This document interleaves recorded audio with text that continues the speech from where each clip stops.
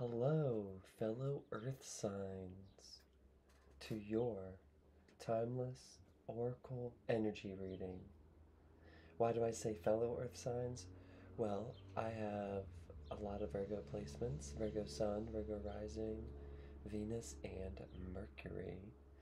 So, I like, um, that's why I said fellow Earth signs.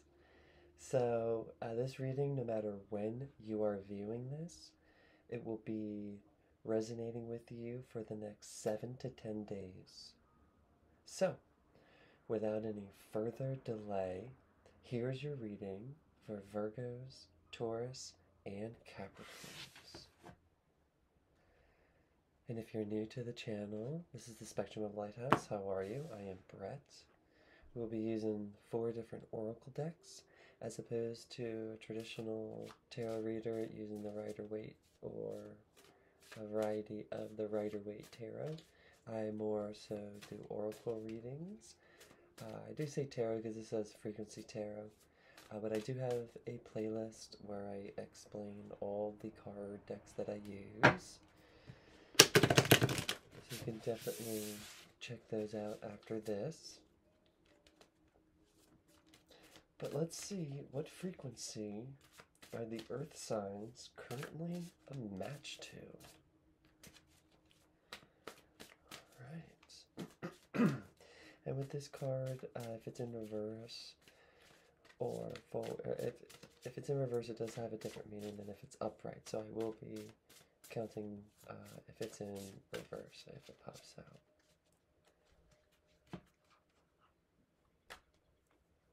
And if you find that this reading resonates with you and you want to check out some other readings, I have a bunch of different playlists, or you can just check out the channel. Or if you start to watch this and it doesn't resonate with you, you can always come back and check this out and look at some other ones.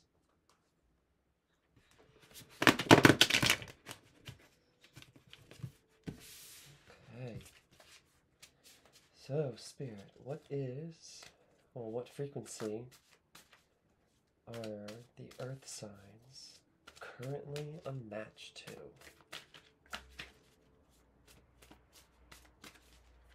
What they kind of do.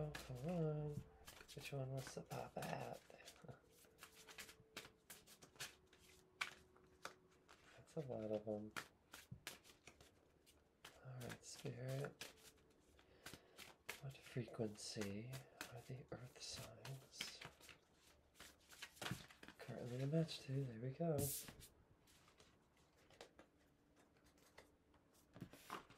And I'll, I'll flip them over and then I'll go back and read them because, again, unlike the tarot, ooh,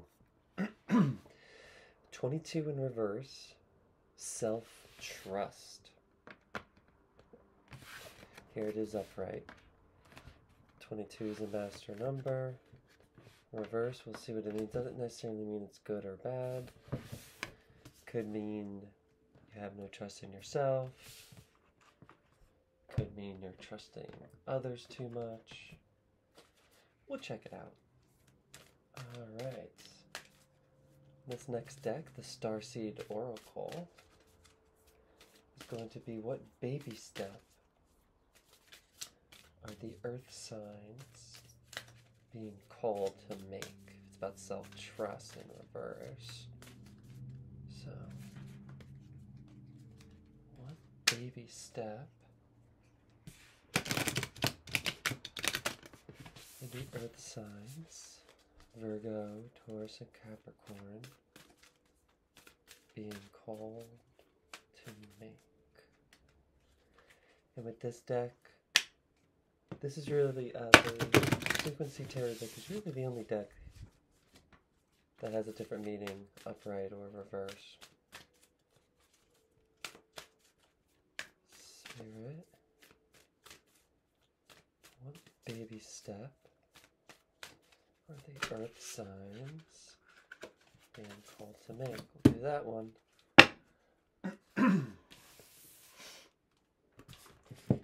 so sorry about that.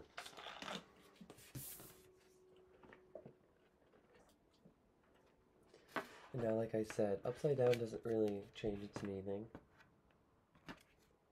All paths lead home. It's a baby step you're being called to make. This next deck is Keepers of the Light. And with this question, we're going to see which Keeper of the Light that you Earth signs are being called or asked to call upon. Sorry, that one, you guys. I hope you guys saw it. Oh, keys deck. Higher learning. You have learned from experience. More inner study is now required to further progress. All paths lead home said inner authority, intuition, turn your gaze within. Self trust, let's go with the theme, let's go. And then the cosmic reading cards. And with the cosmic reading cards, this is going to be what your soul. Alright. When I said it, what your soul is wanting to tell you. What message does the earth sign soul have to say? Unconditional love. Beautiful. Turned right to self trust.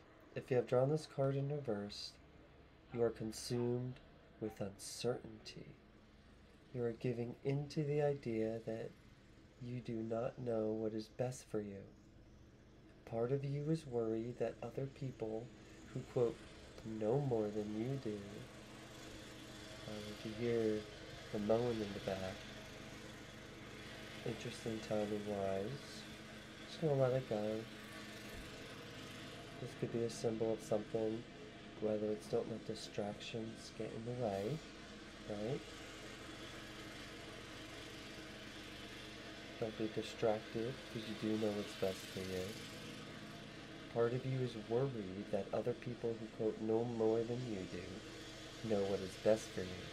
Because of this, you often choose what you think you are supposed to choose. I say it like that because it's italicized. You are allowing yourself to be who you are told that you are.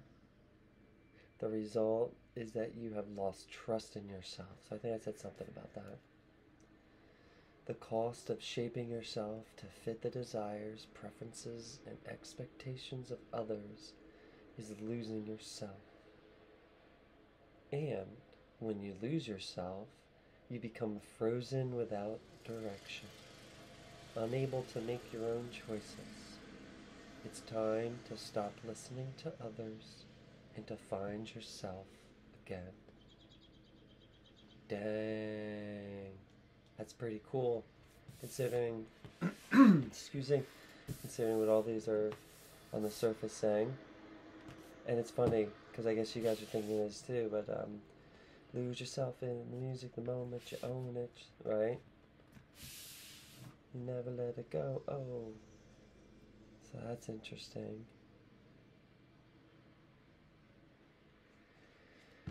Huh. So, inner authority, more inner study, because you've lost trust in yourself. Oops, just kicked the microphone. Because you lost trust in yourself. All paths lead home. Let's see what this one says, because I'm pretty sure that one's just perfectly, per perfectly said. And when we get all these cards, then we'll, we'll talk it out a little more. It's normal to look to the external world for answers and guidance. Alright, so the theme is to quit looking outside of yourself for guidance and for the trust and for the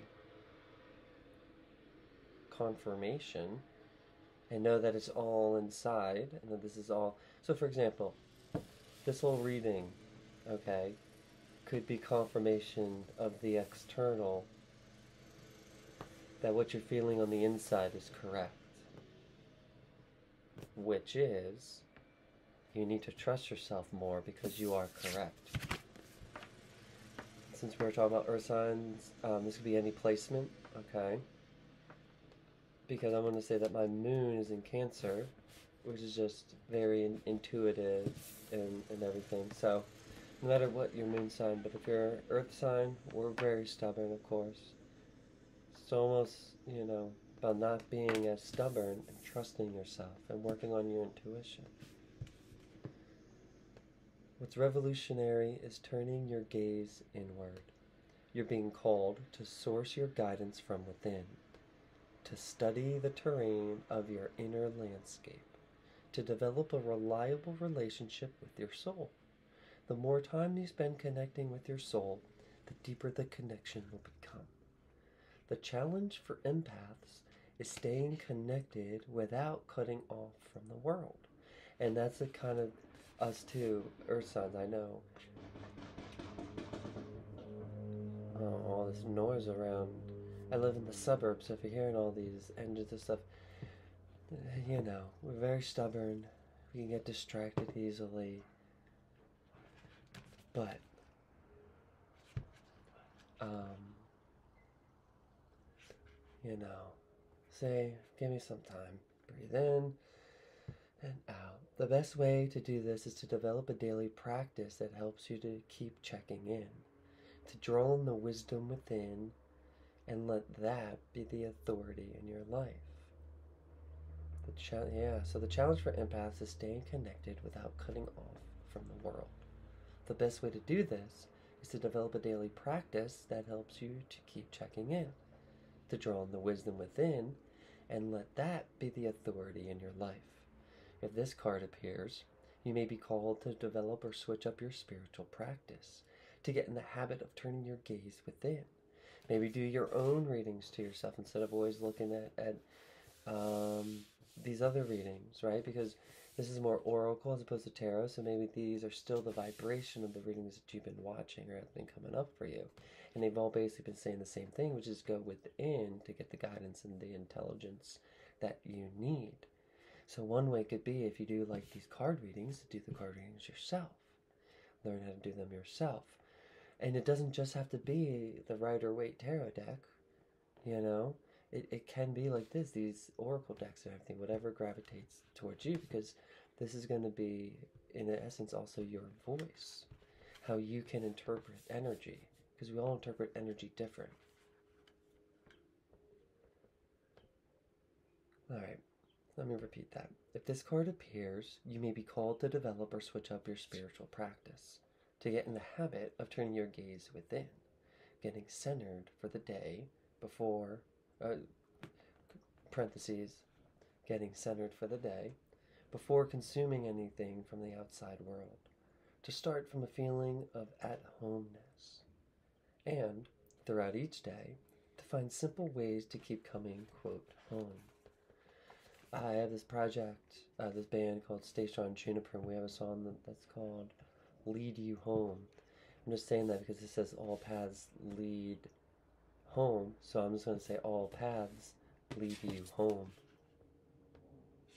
Yep, throughout the day to find a simple way to keep you coming home.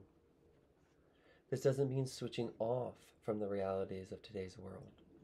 We need as many conscious people as possible living with their eyes wide open. Rather, it's a call to start your day from a place of connectedness, grace, and devotion. So, when you go out into the world and when you let the world in, you do it from an unshakable state of being, a state where you draw your strength, authority, and guidance from a place deep, deep within. Starseed Soul a question you can uh, write down and ask yourself how are you being called to turn your gaze within? Let's go.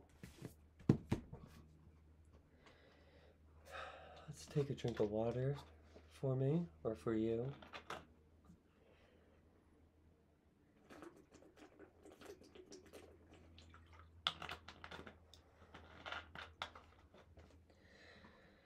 And now I'm I'm definitely all about self development, self empowerment, and everything, and um, taking your power back. So when we talk about connecting to like Melchizedek or a keeper of the lights,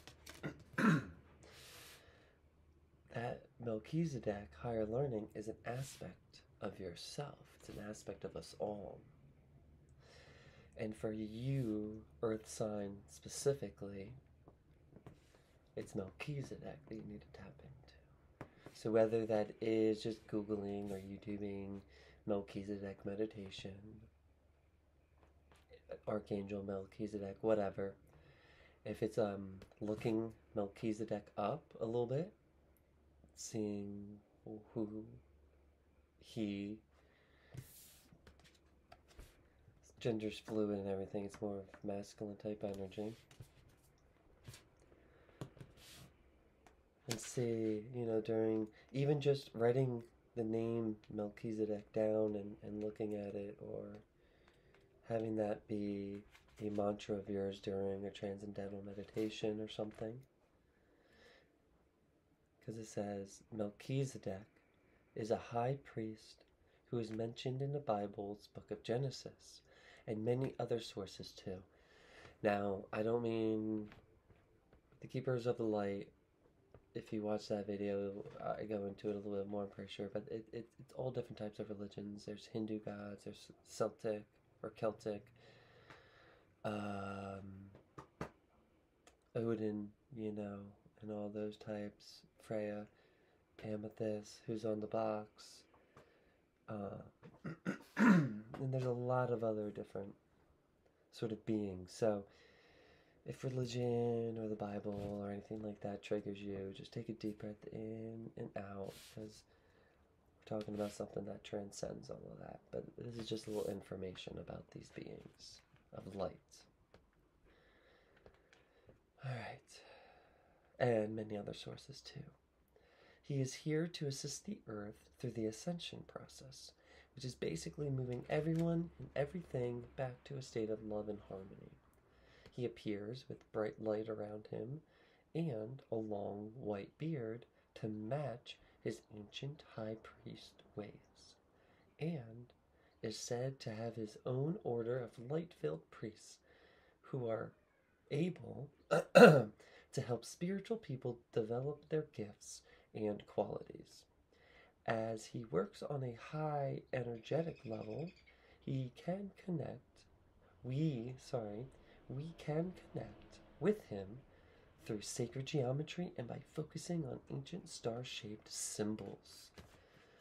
Word flower of life is there. Sorry about the pre thing to the mic like that. Oh, this one on his chest too. An extended message from Melchizedek is that you have learned so much to this point and are learning more every day. You are recognizing all the great lessons your experiences and challenges have brought to you and are preparing for a transition or inner ascension where you will move beyond another level of fear and into the inner sanctum of your heart and soul. Become aware of patterns, ancient symbols, and signs being sent to you from the universe. So, I know I was saying stuff around here about stop looking on the outside, but that that is what I I more or less for that is like people's advice of what you should do. Like this card is saying that that people know better than you.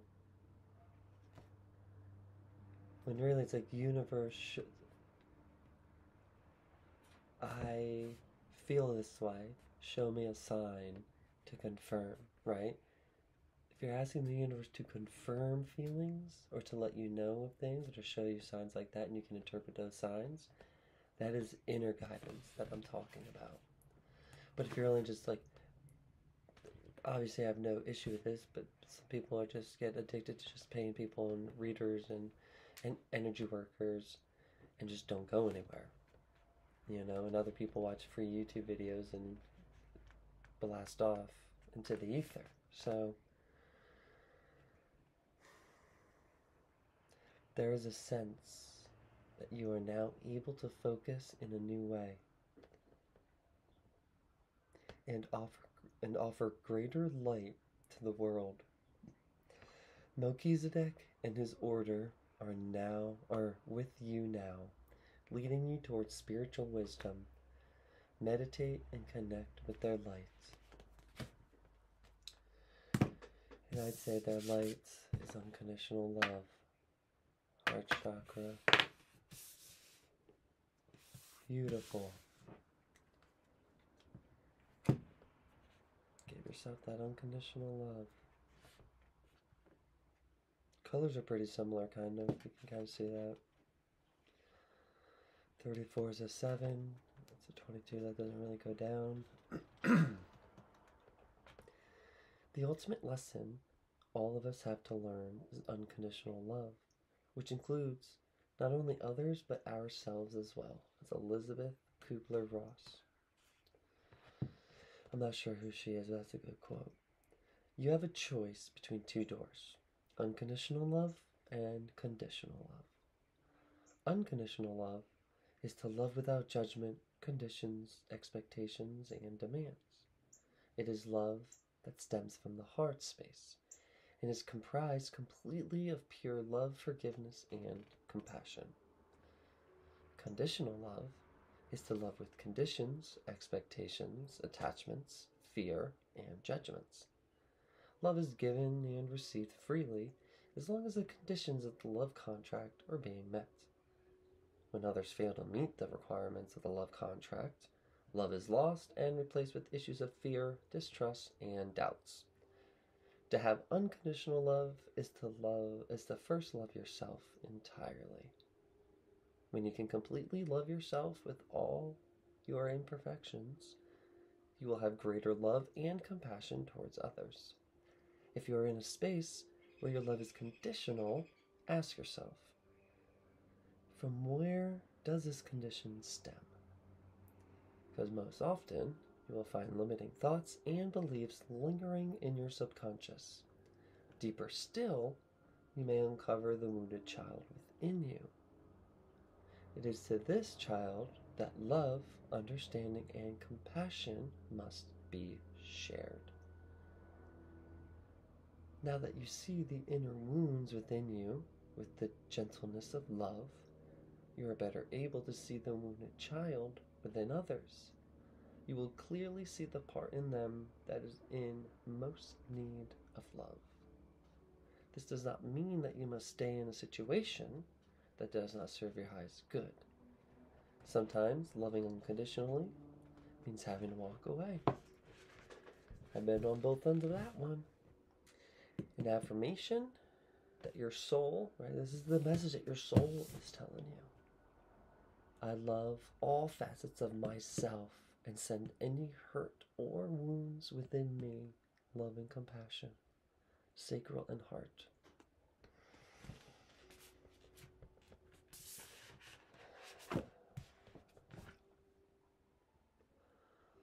So to go over this real fast, I mean not just real fast, but you're losing trust in yourself because you think there are people out there that quote know better than you or know more than you.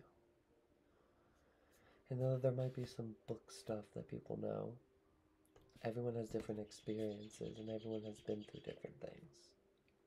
So there really isn't a greater than better than, everything like that. Especially with 22, master builder number and the master number. It's a good number to start with. It just means trust yourself more. And a lot of us can get stuck in our heads, right? Because a baby step to take is changing up your spiritual practice. Maybe starting to meditate Maybe start journaling, right?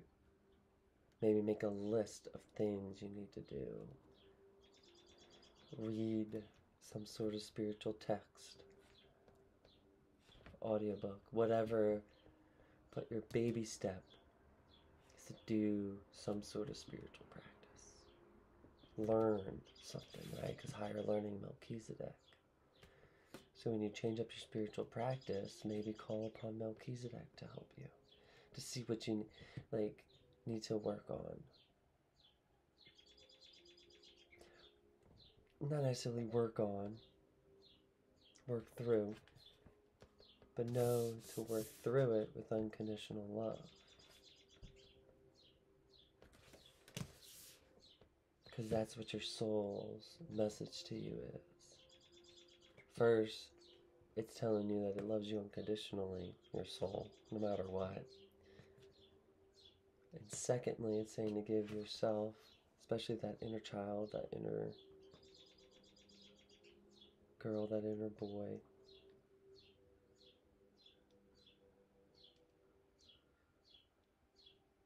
that love, that unconditional love. If you need any help in further guidance or accepting yourself or moving forward or anything, for sure, I have all my contact info and you can talk to me. I don't know if you can hear the dogs barking or not. Um, from the neighborhoods, it's all good. Birds chirping and everything. If you can't hear them, cool. If not, doesn't matter. I just want to end by saying trust, trust yourself, love. Trust yourself because all paths will lead you home. If you need help, call upon Melchizedek to help you.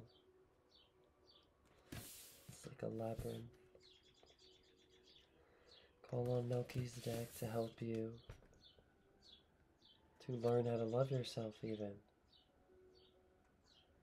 Because knowing yourself is the first step in loving yourself because once you know yourself and you know what that child's been through, you can unconditionally love it because you understand it, you understand it. You're knowing who you are, and that could be by learning your, your birth chart. That could be, you know, in many different ways, learning your numerology, doing gene keys, human design. There's a spectrum of different outlets and ways to do things out there and